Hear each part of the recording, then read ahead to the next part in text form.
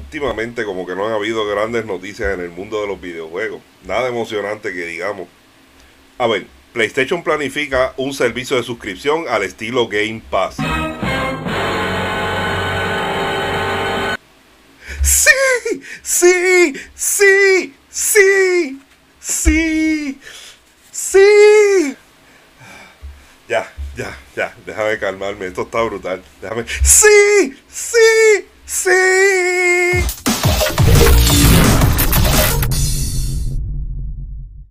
Corillo.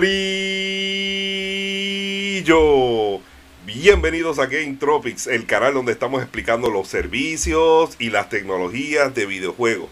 Mi nombre es Santi, el locutor de la calle, me dicen ahora, porque me dice el locutor, que tengo voz de locutor, pero yo no tengo emisora de radio, así que soy el locutor de la calle para todos ustedes, narrándole un poquito de las noticias del mundo de los videojuegos, como he venido haciendo durante ya varios años, ¿no? Y esta noticia me acaba de volar la cabeza. Me acaba de volar la cabeza. Es que es una tremenda noticia, mano. Hay que celebrarlo. Hay que celebrarlo. Mira, a mí me han dicho Xboxer en estos últimos meses, con razón, los entiendo, porque he estado dando muchas noticias de Xbox. Me compré una Xbox Series X, no me he comprado la PlayStation. No tengo dinero infinito, no puedo comprármela ahora en algún momento, cuando salga God of War, cuando salga Horizon Zero Dawn, cuando salga Spider-Man 2, cuando salga Wolverine, créanme mis hermanos que yo, yo no voy a perder esos juegos. No, no, yo soy Xboxer, yo no juego juegos de Sony. Ustedes son locos. yo juego, yo soy Sonyer también, si tengo que ser Sony y Nintendero, si tengo que jugar Nintendo, mano. Yo no me estoy con esas estupideces de la guerra de consolas. Que cuando una consola lo hace bien, como lo ha estado haciendo Xbox, en mi opinión, claro que lo voy a decir porque es mi opinión y es mi canal y yo en mi canal doy mi opinión. Pero también le doy voz a ustedes, o sea que ustedes me pueden poner en los comentarios aquí abajito lo que ustedes piensan. Y ya que están allí pueden suscribirse al canal y también pueden dejarme el like y compartirlo. Eso ustedes tienen toda la libertad del mundo para hacerlo. Y ustedes me dejan sus comentarios y yo soy bien respetuoso. Yo voy a respetar sus comentarios. Pero esta noticia que yo acabo de leer aquí es tremenda noticia. Déjenme explicarle un poquito. Como ustedes saben, yo he estado hablando mucho acerca del Xbox Game Pass, he estado hablando mucho de los servicios de Microsoft, he estado hablando mucho de la, eh, de la consola, la Xbox Series S, porque es que han sido bien menospreciados, mano. Perdónenme, pero han sido bien menospreciados. Bueno, pues la Xbox Series S, la consola más vendida del Viernes Negro aquí en Puerto Rico y en Estados Unidos. En España tal vez no, porque en España les gusta más Sony, yo no tengo problema con eso, pero aquí en Estados Unidos y en Puerto Rico y en México también, Xbox está a la par con PlayStation. Y el que le gusta Xbox celebra que una consola que estaban diciendo que ah, que esa consola va a ser una pieza de colección, que eso ya no sirve, que eso tiene muchas limitaciones, que se hubieran quedado con la Xbox One X. Ahora mismo es la consola más vendida de, de, Viernes Negro. O sea, de este pasado Viernes Negro, brother. Y yo lo celebro porque es una consola a la que yo defiendo. Que la he criticado también. Sí, mira, aquí arribita les puedo dejar un video en donde yo hablaba de las carencias o de los problemas que podía tener la Xbox Series S. Pero eso no quita que sea un consolón. Eso lo que dice es que no es perfecto. Es más, vamos a hacer una cosa. Yo tengo dos retos en este video para los haters de Xbox. Dos retos. Dos retos. El primero, ya que la Xbox Series S es tan porquería y no sirve, ¿verdad? Ármenme un PC de 200 dólares con 99 centavos debí decir 299 dólares con 99 centavos.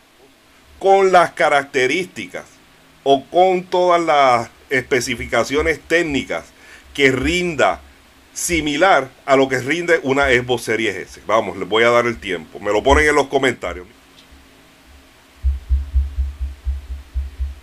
¿Alguien? ¿Alguno? Vamos a hacer, vamos, vamos, vamos a tumba, tumba, tumba, tumba, tumba. No la hay. Perdonen el spoiler, ¿verdad? Porque eh, si esto fuera una película sería un spoiler. No lo hay. Puedes jugar Call of Duty Vanguard, que salió, hace salió los otros días, hace nada, por ciento, eh, con 120 frames por segundo. Puedes jugar los League, of, los League of Legends, puedes jugar todos esos juegos, los puedes jugar a 120 frames por segundo, mano. Es verdad que tienes que sacrificar la calidad gráfica porque no llega a 4K y qué sé yo. Pero en cuestión de textura le da cuatro patas a la generación anterior. ¿Verdad? En cuestión de la rapidez con el SSD le da cuatro patadas a la generación anterior. Tiene menos memoria, sí, pero en cuestión de, cómo corren los juegos en esta consola, le da 20 patadas a la Xbox One. es una consola de nueva generación que no hay un PC en el mercado, no lo hay, que se pueda comparar a esta consola por ese precio. No se le puede quitar la Xbox Series S, la reina del Black Friday, la más vendida hasta ahora, eh, y no es por falta de stock, ¿saben? Porque aquí eh, han habido consolas, créanme, han habido consolas. No tantas, pero han habido. Y había Nintendo Switch y todavía hay Nintendo Switch de todos los modelos. Y sin embargo la Xbox Series S se vendió más. Hasta ahí lo voy a dejar. Y lo otro que yo no me he cansado de hablar, que lo he hablado y lo he hablado y lo he dicho y me ha gustado y, lo sigo disfrutando al día de hoy es el Xbox Game Pass.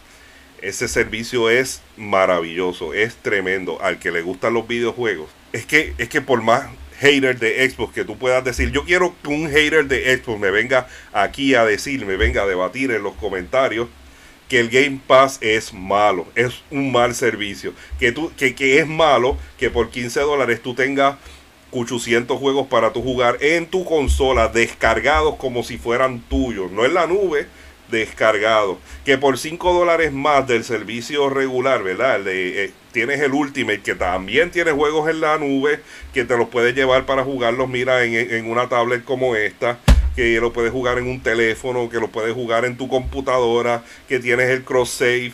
Eh, bueno, el servicio para mí es brutal, es tremendo. Tienes un montón de videojuegos y tienes los juegos de Microsoft día 1. Ahora digo yo, este es el segundo reto que le voy a decir a los haters dígame qué otro servicio de videojuegos te permite jugar los juegos día uno de tu marca. Dímelo si hay otro, ¿verdad que no? No lo hay. Pues el Game Pass para mí ha sido una maravilla. Pues aquí en Kotaku sacaron la noticia que yo creo que es la noticia del mes, si no es la del año, manos. Te, te digo, está por ahí. Vamos a leer la noticia. Dice, Sony finalmente o finaliza una suscripción de PlayStation encargada de darle a la plataforma su propio servicio estilo Game Pass. Esto es tentativamente programado para la próxima primavera, reporta Bloomberg. Ustedes saben que Bloomberg es el medio financiero. Y dicen, el plan actual es combinar el servicio de la nube de PlayStation Now con los juegos gratis mensuales que ofrecidos en el PlayStation Plus. Sacando, sacando del medio el último servicio en favor de uno próximo más prominente para la marca. De acuerdo a documentos internos de Sony vistos por Bloomberg, o el pago mensual de esta nueva suscripción con el nombre código Spartacus o Spartaco Espartaco en español, va a proveer a los jugadores acceso ilimitado a una librería de juegos tanto modernos, juegos de PlayStation, tanto modernos como clásicos. Perdónenme la traducción, ¿verdad? Kotaku contactó a Sony para comentarios, pero no oímos de ellos antes de esta publicación. Tal como el Game Pass, Spartacus o Spartacus la suscripción Spartacus también va a venir en varios sabores dependiendo de cuánto el usuario está dispuesto a pagar. La más económica debe, debe parecerse mucho a el servicio actual de PlayStation Plus. La segunda suscripción va a añadir juegos de PlayStation 4 y eventualmente PlayStation 5. Y la tercera suscripción va, va a ofrecer demos extendidos, streaming de videojuegos, al igual que juegos de PlayStation, PlayStation 2, PlayStation 3 y hasta la librería de PSP o de PlayStation Portable. Spartaco también se espera que esté disponible para ambas consolas. Óigame, esto es bien interesante. Para ambas consolas, la PlayStation 5 y la PlayStation 4. Significa que aquellos que no le han podido echar mano a la consola de nueva generación de Sony no van a ser echados fuera o dejados fuera. Esto era algo que Sony tenía que hacer. This is a no-brainer for Sony, dice. El Game Pass de Xbox se lanzó en 2017 y es lo mejor que le ha pasado a la división o que ha producido la división de videojuegos de Microsoft en décadas. No lo dije yo, que soy el Xboxer. Lo dijo Kotaku. Y dice, atrayendo a más de 18 millones de suscriptores. No lo dije yo. No lo dije yo, lo llevo diciendo un tiempo en los, en los directos. Los que no me siguen los directos, los domingos a las 9 de la noche, hora del este. Esto me puede seguir en Game Tropics, que estoy con mi amigo Gart, que es el colaborador de este canal, y muchas veces está el amigo Rafi Gaming conmigo, y también está el amigo de Alicea Media, un canal de, de, videojuegos y de Star Wars, ¿no? Está conmigo y haciendo unos análisis y unas discusiones brutales.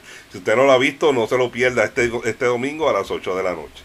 Y dice, este servicio es un aproximado a lo que es Netflix, el estilo Netflix, pero para los videojuegos con una base mucho más grande instalada en la generación de consolas y un obvio hambre de este tipo de modelo de suscripción por el público. Spartacus seguramente va a ser un hit para Sony y esperamos que Sony se aproxime o approaches, no, le haga... no, es que a veces traducir al momento es difícil eh, approaches his PlayStation Plan, haga este, este plan de PlayStation con el mismo fervor que Microsoft ha hecho con el Game Pass, ¿no? Y Xbox. Y honestamente, cada compañía grande de la industria debe darnos más maneras legales de jugar juegos clásicos a precios razonables. Eso se parece mucho a un video que yo hice, que se lo voy a dejar aquí arribita y al final también, de por qué en Xbox no van a sacar más juegos retrocompatibles de Xbox 360 y Xbox original. Bueno, eso se lo dejé en ese video. Pero que cada compañía grande de la industria debe, darnos más madera de jugar juegos clásicos a precios razonables. Este, está tirándole a, Nintendo. No sé. Nintendo, bueno, Nintendo tiene su servicio, ¿verdad? Eh, de juegos de Sega Genesis y de Nintendo 64 mal emulados por 50 dólares al año. No sé, a los nintenderos a lo mejor les gusta mucho eso, pero yo creo que hay otras maneras de jugarlos. Así que, nada, seguimos. Mano, esto está brutal. Que Sony haga esto. ¿Cómo les puedo decir? Esto realmente, o sea, por fin Jim Ryan se, se o sea, por fin Jim Ryan se envalentonó, cogió la fue el, toro por los cuernos, ¿verdad? Y dijo, aunque no sea sostenible, como dicen por ahí, yo voy a hacer mi servicio como Game Pass, porque si a ellos les va bien, a PlayStation le va a ir bien. Seguro, seguro, yo no lo dudo. Ahora, como estaba diciendo el artículo, esperemos que ellos le pongan el mismo fervor, el mismo empeño, se lo ocurren igual, como dicen mis amigos de España, o le metan huevos, como dicen mis amigos de México, al servicio como lo está haciendo Xbox. eso es lo que nosotros esperamos, no esperamos menos. Así que, mano, estos son tremendas noticias. Ahora, yo tengo una sola preocupación con todo esto, porque es, eh, todo esto se oye bien, estilo Game Pass, que vamos a tener los juegos, que vamos a tener distintas suscripciones, que vamos a tener la librería de, de PlayStation 1, PlayStation 2, PlayStation 3, PSP. Eso se oye fantástico, eso está fenomenal tengo dos observaciones que todavía aquí al momento no han aclarado. Lo primero que, tengo que decirles es, estos juegos de PlayStation 3 van emulados, van esto en la nube, ¿cómo van? Porque en PlayStation Now pusieron la opción de poder descargar los videojuegos de PlayStation 2, no, no hay juegos de PlayStation 1 que yo recuerde, eh, pero los de PlayStation 4 también los puedes descargar a la consola y jugarlos como los juegas en el Game Pass. Pero los juegos de PlayStation 3 no. Los juegos de PlayStation 3 tú no los puedes jugar eh, eh, descargados en la consola. Tienes que jugarlos en la nube, obligado. Y tienes juegos como la trilogía de Nathan Drake, que ya están en PlayStation 4 remasterizados. Y sin embargo, PlayStation Now los tiene en la versión de PlayStation 3. Y los tienes que jugar en la nube. Eso yo creo que es algo que ellos pueden cambiar fácil. Y no lo han hecho. También tienen esto, si quieres jugar de Last of Us 1 en el servicio, tienes que jugarlo obligado en la nube. Y esto, otros juegos más exclusivos de PlayStation 3. Eso tienen que arreglarlo. Yo espero que en este servicio lo hagan. Que los juegos de PlayStation 3 tú los puedas jugar descargados en la consola. Si van a hacer la competencia del Game Pass realmente y no va a ser un servicio solamente de nube. Porque aquí no especifica si va a ser solamente de nube. Yo espero que sea copiado al Game Pass. Que se copien. Porque es que la competencia es buena. Y yo voy a ser uno que voy a decir, bueno, voy a tener que coger seis meses de Game Pass y seis meses de Spartacus. Porque me gustan las dos consolas, mano.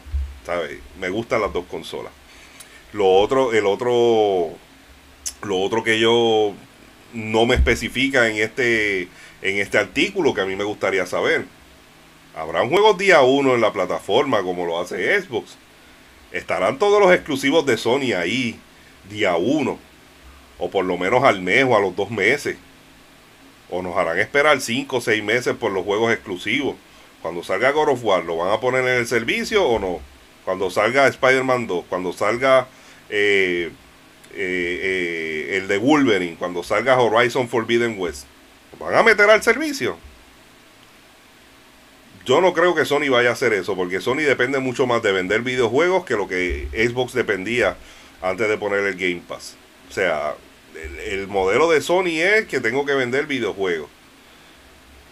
¿Cómo lo van a hacer? No lo sé. Pero esas son las únicas dudas que tengo del servicio. Pero de que es bueno, de que venga un servicio a hacerle la competencia al Game Pass de su competidor más importante, que es PlayStation, eso de verdad que está brutal. Está brutal. Y por último tengo un comentario más. Una pullita más que tirar. Nintendo. Nintendo. ¿Dónde está tu Game Pass? Si te ha gustado el video de hoy, asegúrate darle un like, suscribirte si no lo has hecho y compartirlo con tus amigos. Ponme en la caja de comentarios qué tú piensas de este servicio Spartacus y si realmente será una competencia fuerte para el Xbox Game Pass, que está solo en su isla, está solito y no le han hecho la competencia. Espero tu comentario. Cuídense mucho y que Dios les bendiga.